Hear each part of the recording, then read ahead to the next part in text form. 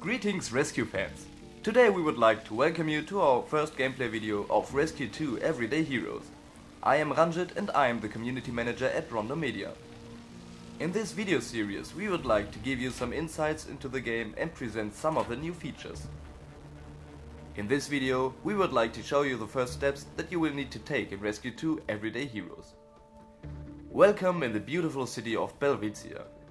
Here we are looking at the overview map of the city.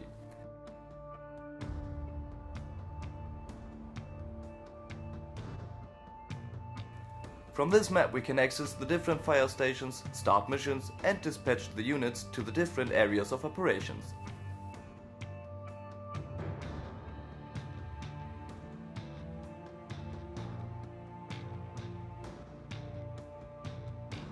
Let us begin with the first tutorial mission. This mission is easy to solve. A couple of wooden pallets are on fire.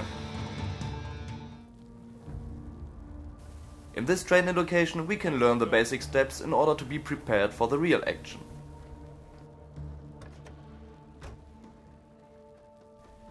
In order to distinguish the fire we should let the firefighter exit the vehicle and pick up the attack hose. Then we should connect it to the vehicle.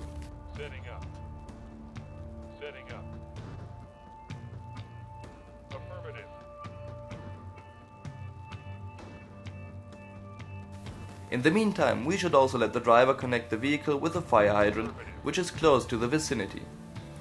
This should secure a proper water supply, which is very important in order to be effective at firefighting. This should do it and we solved the first tutorial mission.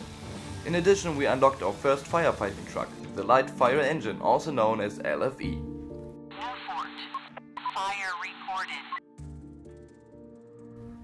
Now we are back at the strategic map and the emergency center radios in. Our first incident needs to be handled. First we need to select the vehicle and the crew we would like to dispatch to the mission. Because we are at the very beginning of the game, we can only choose the LFE. Dispatch 1, D2, 1 1. In the later stages of the game, we will be able to choose from a greater vehicle pool and get inside the stations. For now, we'll start the first mission. The trash can at the local diner is on fire and the flames are spreading. We need to act quickly in order to avoid more damage. It is very important to be precise, fast and solution oriented. There, our LFE is arriving at the scene. First thing to do, let the firefighters exit the vehicle, then we should give the command to pick up the necessary equipment. Understood.